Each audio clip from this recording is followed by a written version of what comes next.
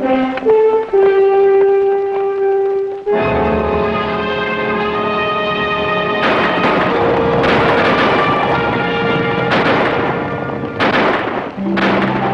the immigrant peoples of Europe reached the shores of America, the farmers among them spread ever westward and established communities.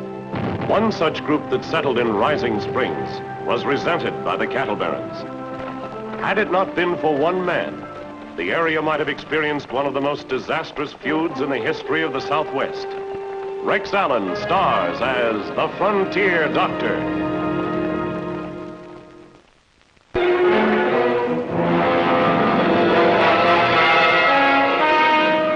The Basin Cattle Company had been making trouble for the small homesteaders who had settled on open grazing land in the vicinity of Rising Springs. The incident at the Hellborg farm proved to be the fuse that nearly exploded the range into open war. Please, mister, please leave me alone.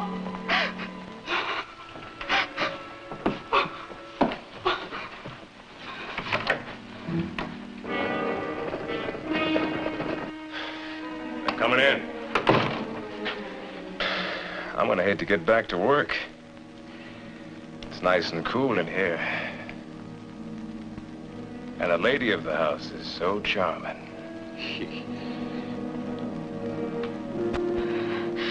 Better go easy on that stuff, Judge. Trouble with you, Lonnie, you ain't old enough to know how to have fun. Well, I guess it's time to bid the lady a fond farewell.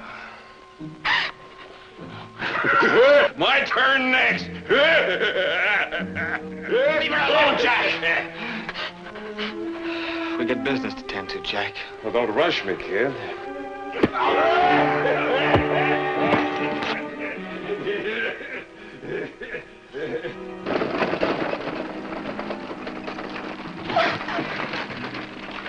Papa! Papa! Papa! Cowboys? Been waiting for you, Papa. They'll make trouble.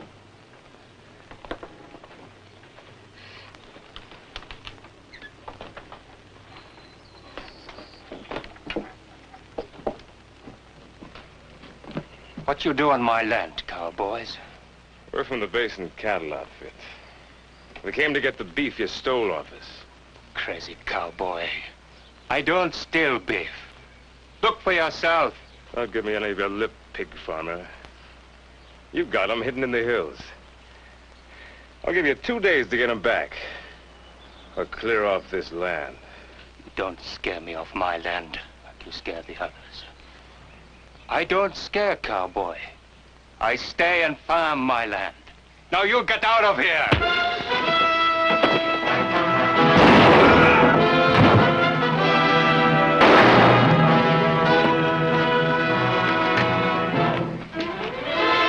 Come on, kid, leave him.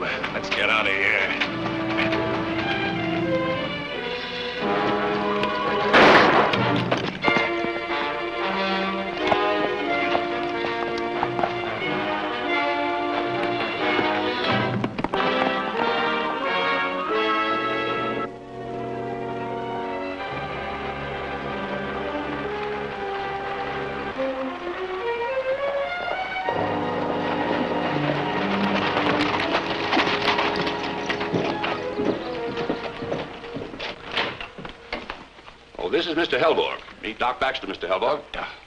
Son has been shot in the stomach.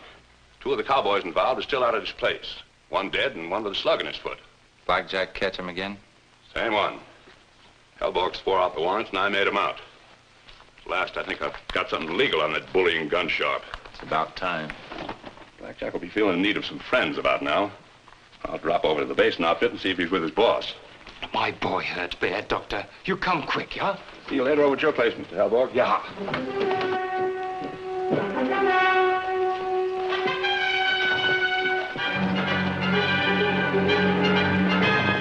Violence, even when expected, always comes as a shock. I could still feel it in the air when we pulled up at the Hellborg farm.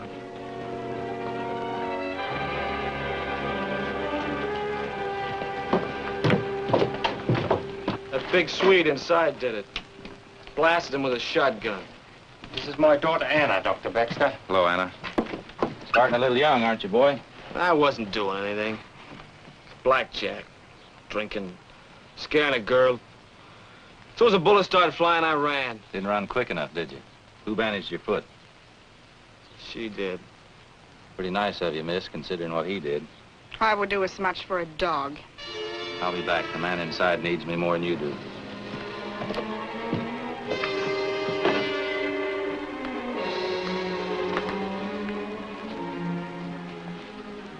Hiya, Doc. Hi, Nels. Does it hurt bad? Yeah. It's in the belly, Doc.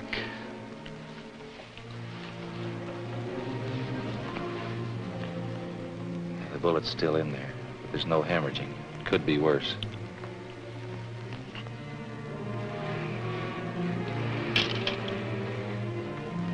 Not too much. Not too much. Now, Doctor, so nervous. Stupid. Just a little at a time. A little at a time.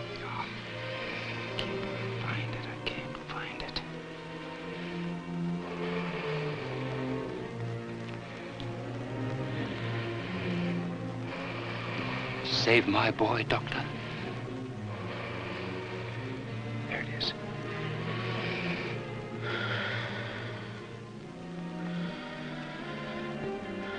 Keep this for. Good luck. Yeah, you need it.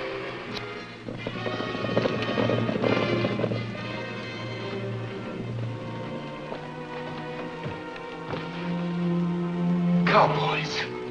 Five of them. Wait a minute. Might be better if you stayed inside. I'll go see what they want. You stay here with the boy.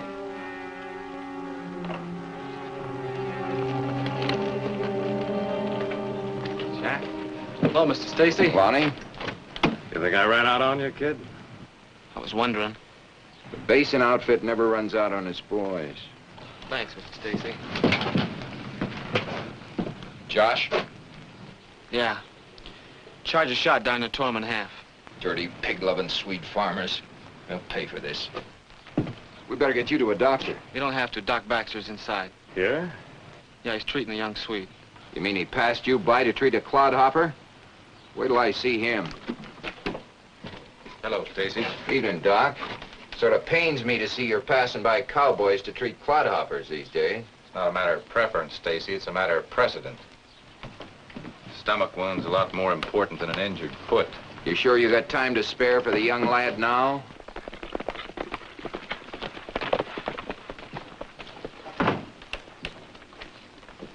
The sheriff.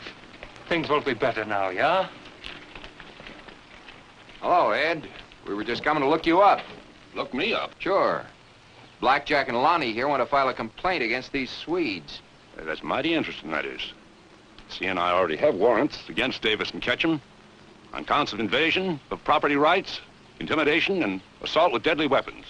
Lies, Sheriff, lies.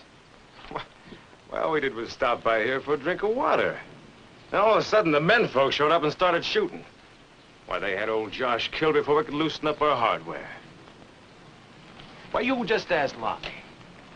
He was here. What about it, boy? Is that right? Yeah.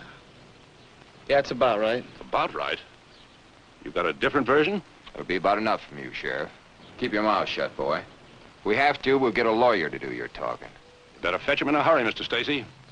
To my way of thinking, these boys are going to need all the legal help they can get. I'll take your gun, Ketchum. Go along with him, Jack.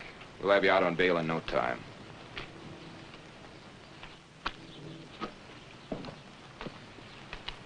But we're gonna fight this thing to the finish, do you hear me? It's time we took a stand against the farmers.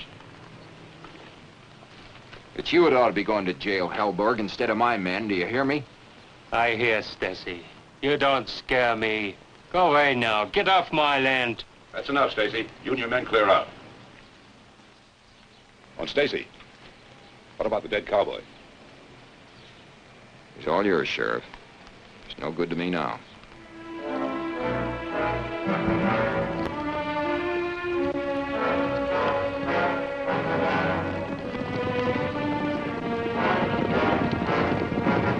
You're such a good friend of the old man's, how about giving me a hand?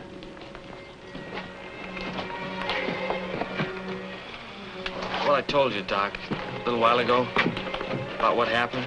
It's like Blackjack said. Was it? Don't you believe me? You're afraid of Blackjack's guns, boy. It's as simple as that.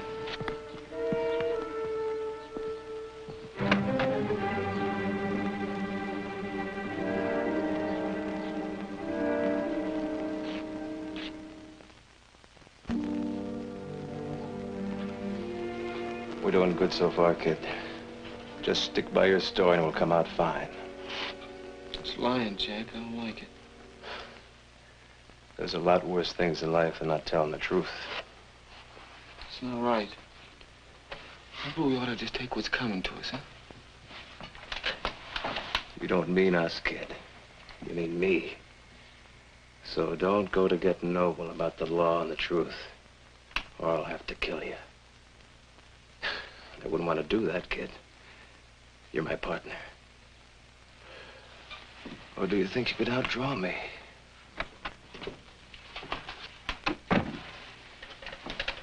The judge set the bail, Sheriff? Yeah. Stacy ought to be along any time now. Yeah, I know he's at the judge's house. The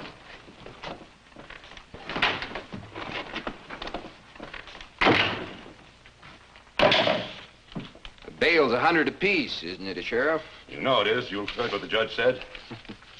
You don't sound too anxious turn 'em loose, Ed. That's a loophole in the law that ought to be plugged. Oh, sure. Here, sign here.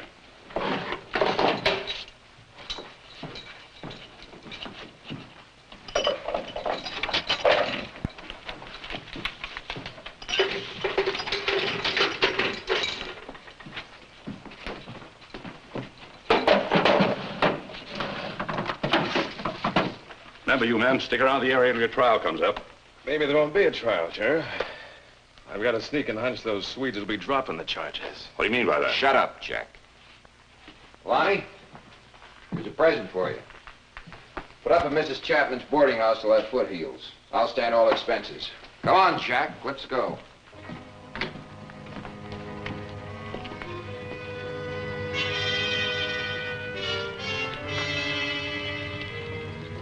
Your Jack. Did you talk to the Swede? Yeah. Refuses to withdraw charges. He needs more persuasion. You watch the rough stuff, Jack. This one was pretty close. Well, maybe you'd rather see me go to trial. We could lick it. With a good lawyer, and the kid's testimony, You can't depend on the kid. he wouldn't turn on you. He's too scared. You're wrong. I know his kind. He wants to be an honest man. People like you and me, Stacy, we just can't trust honest folks. You watch your talk, Jack. Remember, you're working for me. Sure. A hundred a month and 500 bounty on every homesteader I knock over in self-defense. Would you rather I wouldn't spread that gospel around? You do whatever you think best.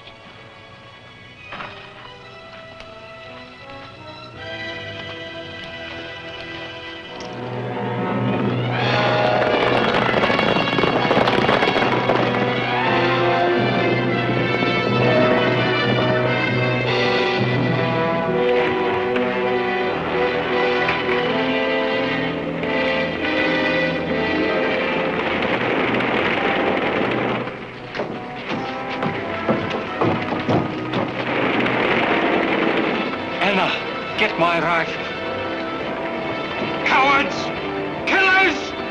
Better change your tune, farmer. Well, that's just the beginning. I know you. Catch 'em. Papa, the horses! They're burned to death!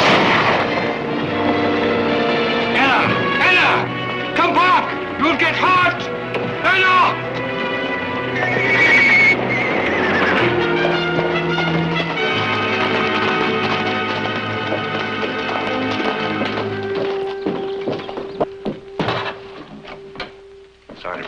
To bring you out again, Bill. Cowboys set fire to the Hellborg barn last night. The whole family came in town for protection. What happened to her? She burnt her hands, trying to save the poor horses she bought them. Where's Nels? In there.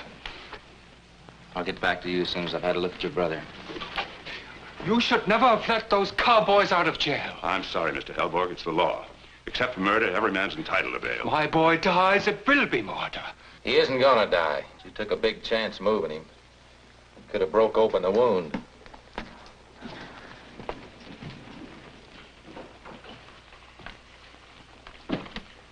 Burns are always painful.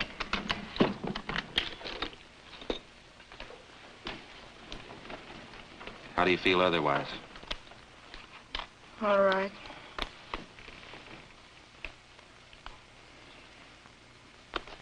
Well enough to go visiting with me?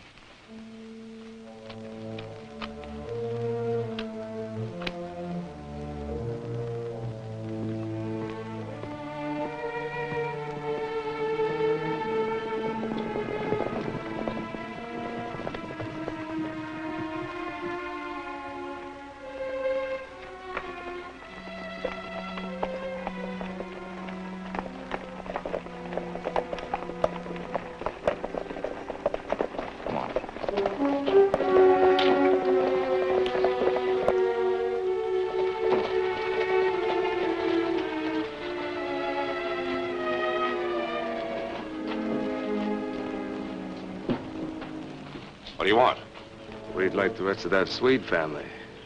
We'd kind of like to escort the men folks to the nearest tree. I don't tolerate lynch talk in this town. Looks like you're gonna have to, Sheriff. As long as that's the only way we can get a fair deal. I'll give you men just one minute to clear off the street.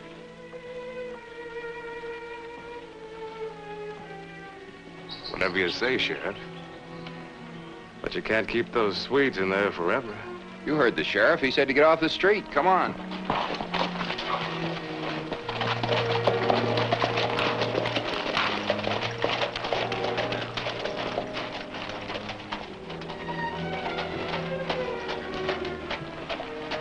Well, boys, we might as well have some refreshments while we're waiting. Luke, keep an eye on the jail. Let us know who comes and goes.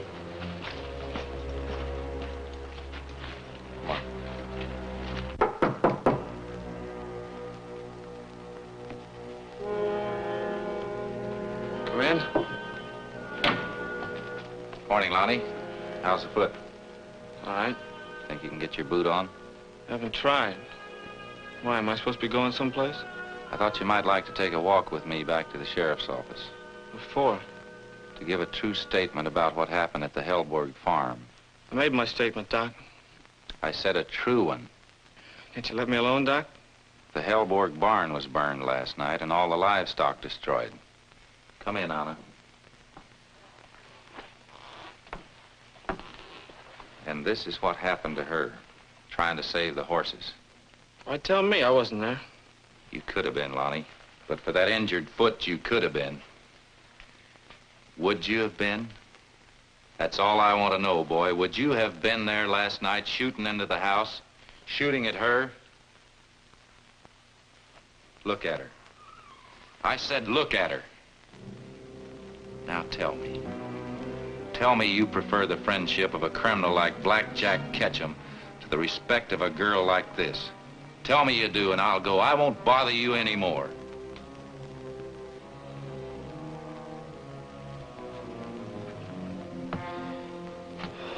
Get something straight, sir. I didn't pick Blackjack for a friend. He picked me. You know what that means, mister? You know what it means to be cut out by a killer? Is it fair that I should have to stand up to him by myself and get killed? I'm asking you, is that fair? Don't ask me, ask her. The good Samaritans of this world don't ask to be picked. You were there and you know the truth. You have it in your power to break the hold of fear that cattlemen like Stacy wield over this community. But if you're too young, or too stupid, or dishonest, come on, Anna.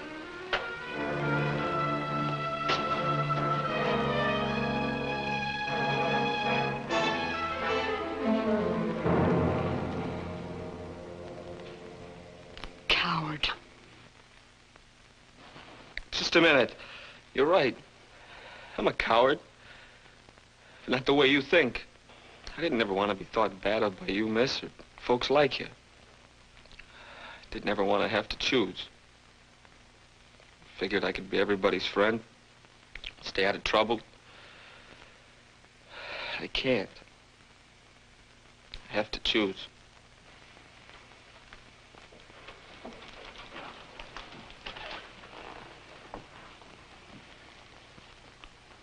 Then you'll come with us. Yeah.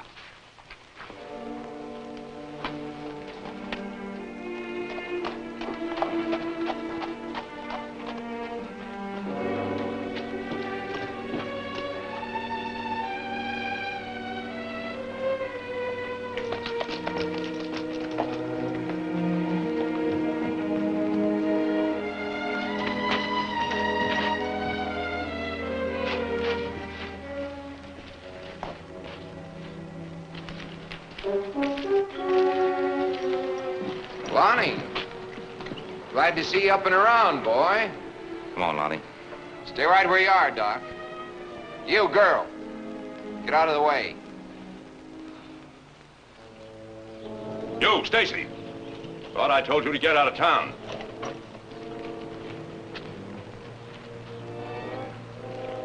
Well, just ask my young friend here if he needed any help. How about it, Lonnie? Mr. Stacy, I'm gonna have to tell the truth. I've been working for you for almost a year now, and I've seen a lot of things that bothered me. Well, things like what happened yesterday. We were supposed to be out looking for strays, but that wasn't the real reason. Real reason was for blackjack. Force a fight, make trouble. Shoot some more homesteaders in self-defense. Wasn't self-defense what happened out there yesterday. You're a liar, kid. You hear me? A liar. It's the truth I'm speaking. And you know it. I repeat, you're a liar and a coward. If you're half the man you think you are, why don't you get yourself a gun? And we'll settle up right now.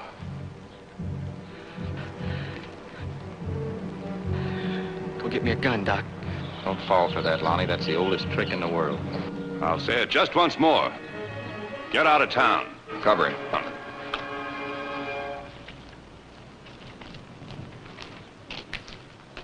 We've got a right to make a peaceful public protest, Sheriff. You're covered, you know. So get yourself and that scattergun of yours back inside. One blast from that thing, you're liable to lose a doctor and a lying witness along with a couple of honest cowboys. So what I'm going to do, Sheriff, is give Blackjack Ketchum here a chance to avenge his honor against the insults of this impudent young squirt. Luke, give me your gun. I'm going to throw this pistol over here where the lad can get to it. Blackjack, give me yours.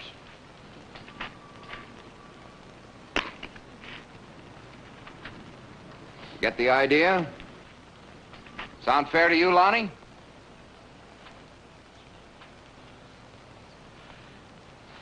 Yeah, fair enough. Stacy, the kid's crippled, and you know it. This is cold-blooded murder. On the contrary, Doc, it's as fair a duel as I've ever seen. Stay where you are, Sheriff. Move out of the line of fire. You keep out of it, Doc. There's nothing you can do about it now. These men are both armed and both have an equal chance. Walk away, boy. All you have to do is walk away. Sorry, Doc. I gotta know if I'm man enough to be what I think I am. At the count of three, you'll both go for your guns. You ready? One. Two.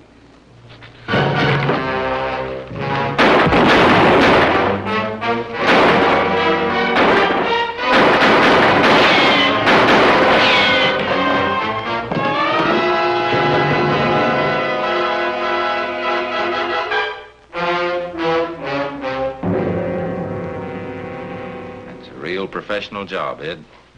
Quite a switch, eh, Bill? You doing the shooting and me doing the bandaging. Well, you sure kept our star witness alive. Without him, we'd have all been finished. The way you took over that gun duel, Bill, was really something. I didn't know you could handle a gun like that. Well, I'll tell you a little secret, Ed. Neither did I.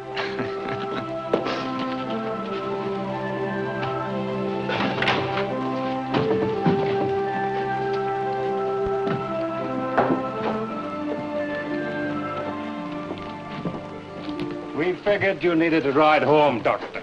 So we waited for you. That's awful nice of you, sir. I sure appreciate it. Here we are.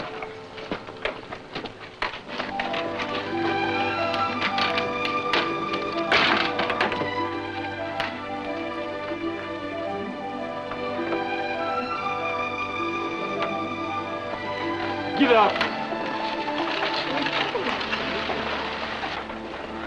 On July 18, 1891, Blackjack Ketchum, Stacy, and the rest of the gang were sentenced. Lonnie was given two years probation.